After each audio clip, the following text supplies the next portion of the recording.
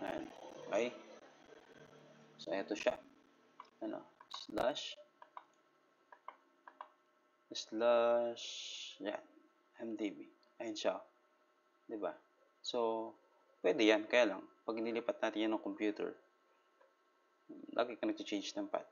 Pero kung ganito ang magiging code mo, mas madali. Okay, again, para, para ito sa mga katulad kong beginner, para ma-share ko yung idea ng pagkoconnect ng database sa uh, Visual Studio natin. Okay, so that's it. Okay, tingnan natin to. Ah. Ito yung palatandaan. No, pag ino-open natin ng database, ano ba, i-open natin yan. Nagkakano siya, ayun, okay, lumalabas yan. Palatandaan yan na naka-open ng database natin. Okay. Hindi siya lumabas. So, kasi nandito yan. Close ko muna. Okay. Open natin. Okay. So, wala naman yan.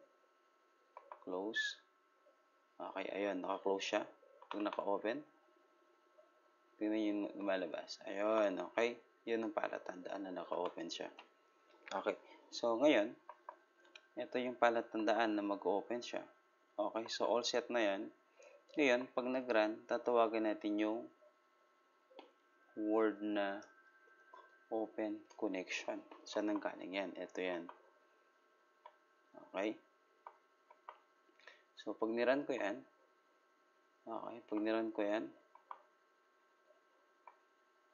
Okay, pag niran ko yan, dapat mayroong lalabas dyan na another file. Okay. So, run.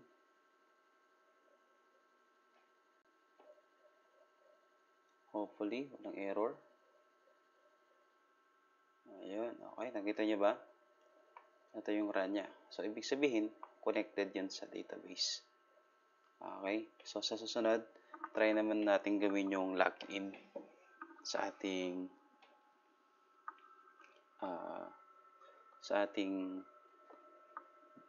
uh, tawag dito sa ating tutorial no so this is for uh, beginner no? sana uh, supportahan nyo tong mga videos natin para makapag-share pa tayo thank you